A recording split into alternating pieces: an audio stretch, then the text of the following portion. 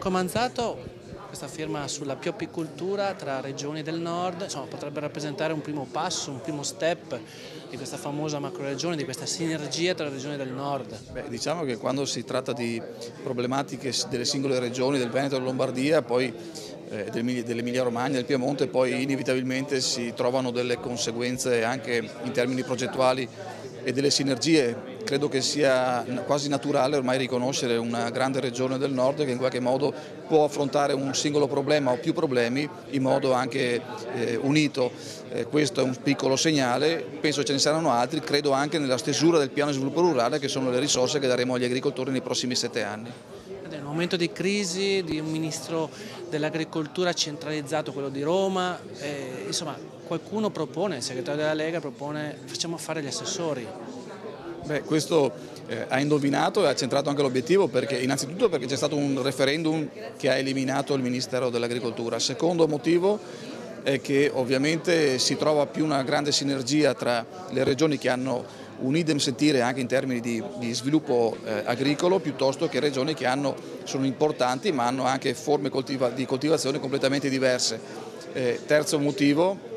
è sicuramente il fatto che la materia è praticamente totalmente delle regioni e le regioni possono attraverso una macro regione come quella del nord trattare direttamente con la comunità europea. Senti, secondo lei qual è la sensibilità da parte di altre regioni non governate dalla, o comunque non con assessore della Lega?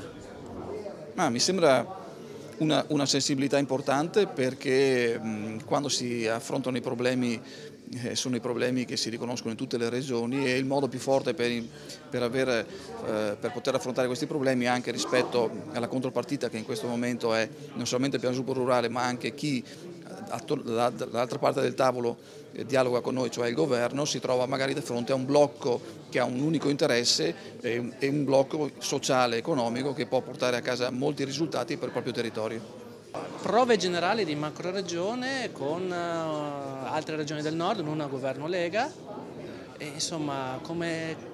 cosa ne pensa? Ma io lo dico da un anno, la macroregione agricola esiste di fatto, cioè poi se vogliamo eh, fare dei distinguo perché non è mai stata circoscritta dal punto di vista istituzionale possiamo anche farli, però è indubbio che queste cinque regioni ormai ciclicamente si trovino, condividano documenti, condividano azioni e soprattutto condividano la necessità di farsi sentire dal livello centrale nei confronti dell'Europa con le medesime modalità eh, nel tentativo di cercare di risolvere problemi che si trascinano da troppo tempo. Eh, devo dire che c'è grande sintonia in realtà, eh, che non è una sintonia ovviamente di ordine politico ma che è una sintonia sulle cose da fare, questa è la grande dimostrazione, oggi raccogliamo anche un plauso rispetto a questa modalità da parte del mondo delle imprese sia agricole che industriali e questo mi conforta. Senta, eh, ultimamente questo ministro dell'agricoltura è in crisi, vacante, eh, qualcuno suggerisce come segretario della Lega Nord, dice beh facciamo fare gli assessori.